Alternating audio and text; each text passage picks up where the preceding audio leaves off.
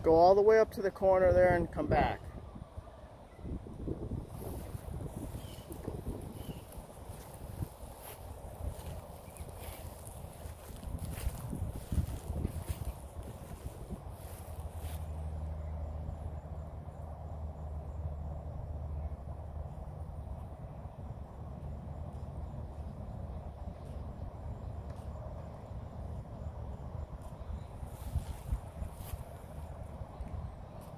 Keep walking. Don't slow down. Don't don't give him opportunities to worry about that dog.